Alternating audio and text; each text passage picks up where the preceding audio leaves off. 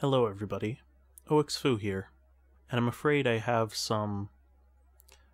Well, some disappointing news. You see, I actually got a uh, a notice from um, Capcom earlier today that they actually uh, had some problems with my Resident Evil LP, and I had I had to take it down. And I won't be able to do Resident Evil 2, unfortunately, because otherwise legal action, all that jazz, you know. Actually, I shouldn't even be showing these, um, crap, crap, crap. Uh, here's bonus content from, yeah, Ico and Shadow the Colossus. I mean,